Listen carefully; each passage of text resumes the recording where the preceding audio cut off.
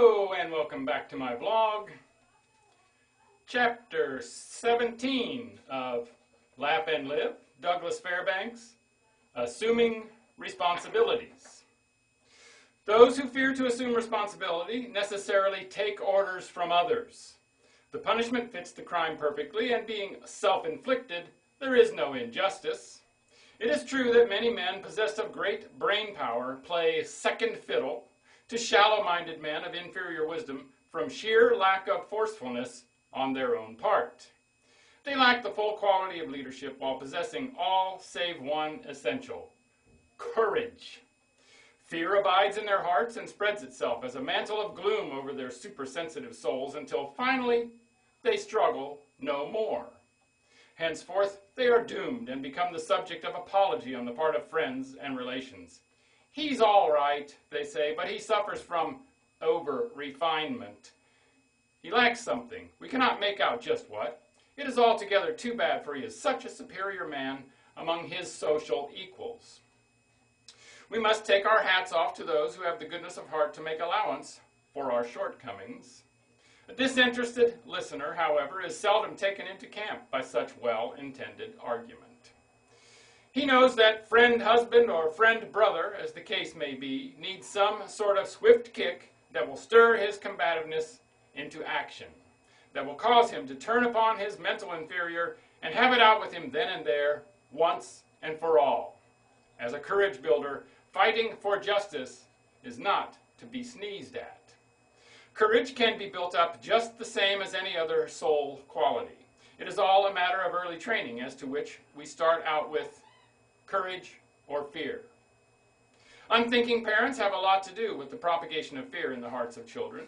A neglectful father plus a fear-stricken mother constitute the most logical forces which tend toward the overdevelopment of fear in a child. Once the seed is thoroughly implanted, the growth can be depended upon. How to get rid of it later is not so easy to figure out. Had the child been born with a club foot, these same parents would have spent their last dollar in an effort to straighten it into natural condition. They could see the unshapely foot day by day with their own eyes, and so could their neighbors. But the fear-warped little brain, struggling for courage with which to combat its weakness, needs must battle alone, with chances largely against it. The mere thought of what is in store for this little one as it stumbles along from one period to another, fearful of this and fearful of that, is disconcerting to say the least. We can almost trace our friend, second fiddle, directly back to such a childhood. We can almost hear his fond mother shout, Keep away from the brook, darling. You might get your feet wet and catch your death of cold. Another well-known and highly respected admonition belong, belonging to childhood's hour is, Come in, Dreary, it's getting dark. Bogeyman will get you if you don't watch out. Some years later, when little son runs breathless into the home portal after being chased from school by some terrible boys, we can hear this same little mother as she storms about the place and tells what Papa must do about the matter. According to her notion, if teachers could not control the criminal element among the, their pupils, then it was high time for the police to step in. Never a word about little son taking his own part. Father listens in silence and half formulates the notion of going direct to the parents and laying down the law, while his little while little son listens in fear and trembling in anticipation of what is coming to him if father carries out his threat.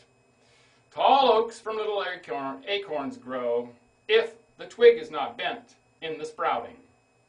Little son is bound to grow into manhood someday, and when he arrives, he must have one particular attribute, courage.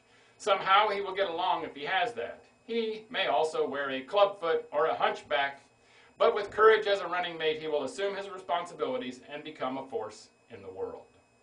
Once a great orator sat upon a rostrum listening to a speech by a man who cautioned his countrymen against taking steps to defend the national honor.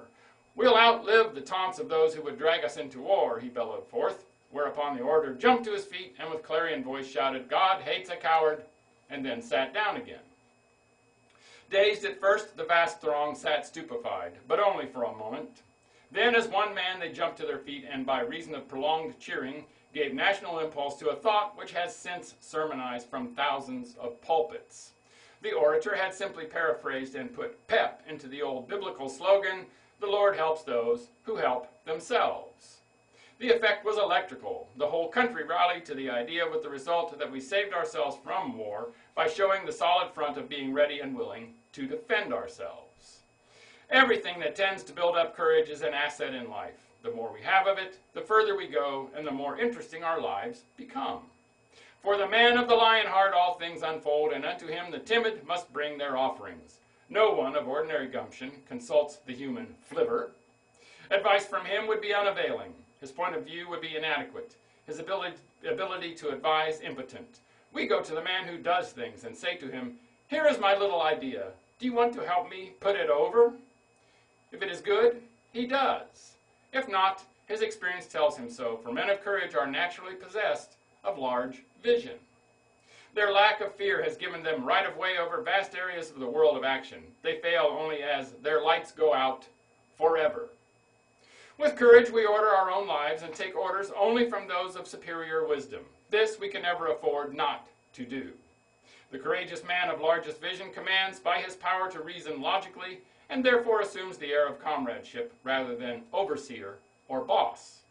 Only through lack of moral and physical courage are we to become the slaves of these. Courage, the child of hope, the despair of failure. Born of good cheer, it, link, it, links its fate with the higher attributes and tramples underfoot the fears which spring up before it. When sown early into the hearts of the young, its companionship becomes unerring in its efficiency for good throughout their lives. And thus ends chapter 17, Assuming Responsibilities. So take responsibility for making it a great day, and bye for now.